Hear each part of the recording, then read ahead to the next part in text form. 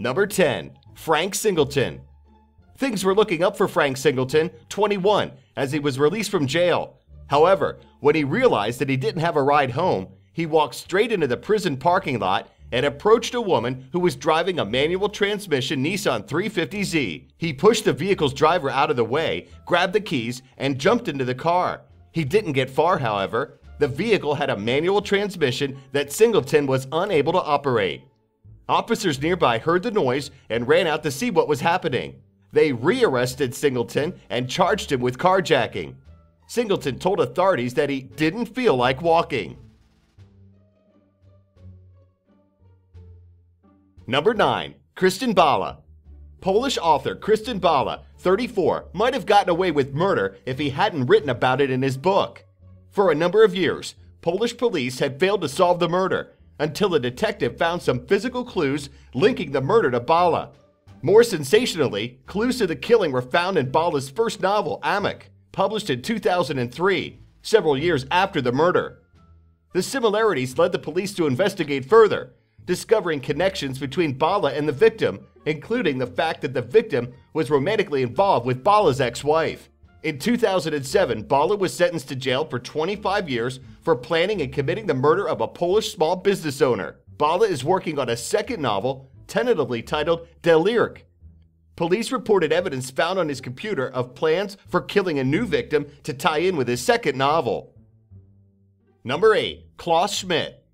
In August 1995, Klaus Schmidt tried to rob a bank in Berlin, Germany by walking in with a pistol and demanding money. However, as the robbery progressed, the bank employees noticed that the criminal was acting rather strangely. At one point, one of them asked the robber if he needed a bag, and he replied, You're damn right it's a real gun. This made them realize that Schmidt had a noticeable handicap. He was deaf. Taking advantage, one employee set off the alarm. Schmidt remained oblivious.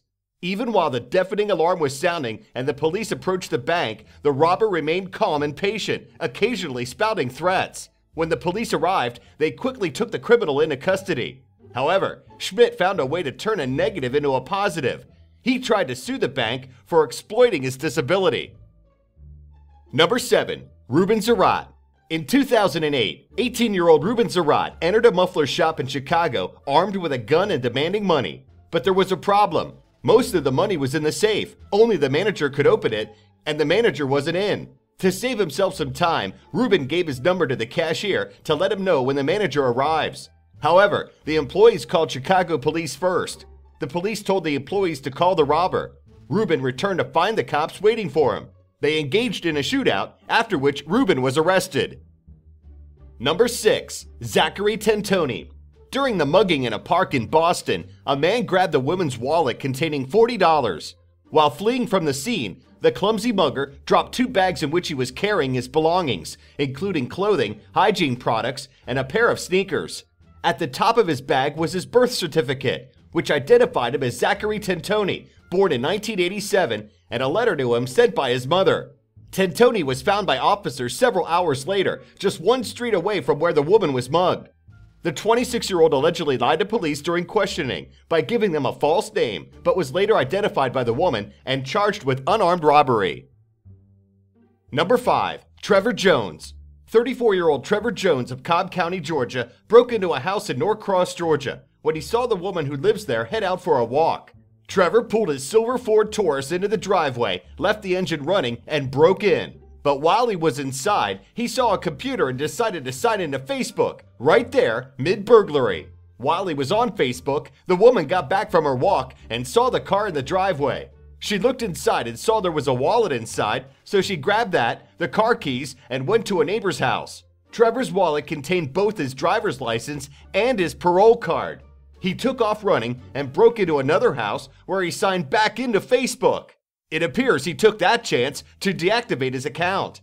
It wasn't hard to identify the burglar, but the harder part was finding him as warrants were issued for his arrest. Number 4. Albert Bailey. Albert Bailey forgot the first rule of bank robbery. Tellers only give you money if there's an immediate threat to their safety. He and a 16 year old accomplice tried to rob the People's United Bank in Bridgeport, Connecticut. But 10 minutes before their heist, They called the bank, demanding that $100,000 in large bills be gathered, or there would be a bloodbath if the orders were not carried out. The bank, quite naturally, called police and also initiated a lockdown, but not before the caller's accomplice was already inside. The 16 year old grabbed only $900 and tried to return to the car with Bailey at the wheel. Both were arrested in the bank's parking lot. The two robbers were charged with first degree robbery and threatening in the first degree. Bailey was immediately sent back to prison as he was already on probation for robbing a People's Bank in Bridgeport in 2003. Number 3. Quinton Thomas. Quinton Thomas, 22, was in jail awaiting trial for murder and armed robbery. Thomas sent a letter to a friend suggesting him to keep a potential witness from testifying at his trial. He was bold because he knew that the prison staff didn't screen outgoing mail. However, he sent the letter to the wrong address or affixed the wrong postage because it was marked return to sender and sent back to jail, making it incoming mail, which is screened by the staff. The letter was all the prosecutor needed to finish the case. He was convicted on three new counts one of solicitation to commit murder and two of witness intimidation, in addition to the original charges. Number 2. Derrick Mosley. 22 year old Derrick Mosley from Beaverton, Oregon, came up with the brilliant idea to rob a gun store armed with a baseball bat.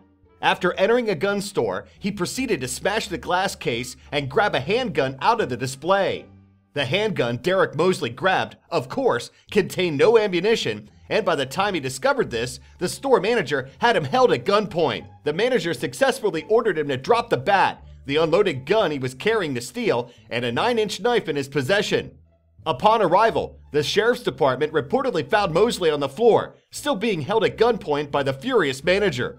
The failed robber was booked on charges of first degree robbery, first degree theft, unlawful possession of a firearm, and second degree criminal mischief. Number 1. Lee Barker. In 2013, 19 year old Lee Barker from North Shields in England stole a bike worth almost $400. He cut away the lock and rode the bike to his house. However, it had been snowing that night, and clear footprints and tracks could be seen in the snow, the 16 year old owner and his father followed these tracks, which led them all the way to the thief's address, four miles away. Then they called the police. The offender was arrested, and the bike was recovered from the address. Barker appeared in North Tyneside Magistrates Court and pleaded guilty to the theft and was fined a total of 263 pounds, which is about $400. Common sense is apparently hard for some criminals. I hope you enjoyed this video. More funny videos are coming soon, so stay tuned. And please don't forget to hit the like button or share the video with your friends. Also, check out our previous video. Thanks for watching!